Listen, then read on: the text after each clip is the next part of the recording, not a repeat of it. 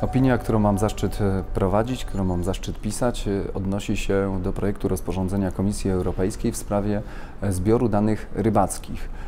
Jest to taki zbiór, który musi, musi prowadzić każde państwo członkowskie, po to, żebyśmy mieli jak najlepszą wiedzę o naszych zasobach wodnych. W chwili obecnej, w związku ze zmianą wspólnej e, polityki rybackiej mm, z 2013 roku, musimy dostosować, e, dostosować ten zbiór do aktualnych potrzeb. Dzięki temu e, nasza interwencja w ekosystem, w ekosystem rybacki będzie bardziej precyzyjna. Dzięki tym danym uda nam się na pewno bardziej odpowiedzialnie prowadzić wspólną europejską politykę rybacką.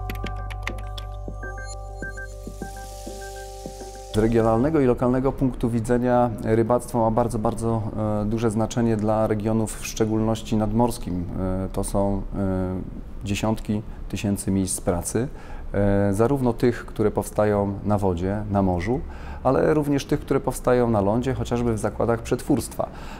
Dlatego z naszego punktu widzenia jest to bardzo ważny czynnik gospodarczy.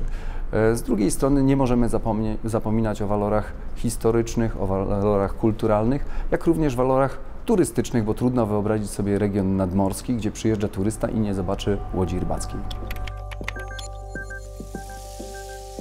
Bardzo chciałem być reporterem e, w tej opinii z tego powodu, że reprezentuję region nadmorski. Pomorze Zachodnie to przepiękny region, który, e, którego linia brzegowa to ponad 180 km wybrzeża.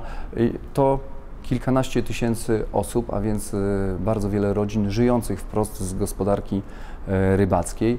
E, trudno nie zabiegać w związku z tym o taką opinię, kiedy reprezentuje się region tak silnie związany z morzem i z rybactwem.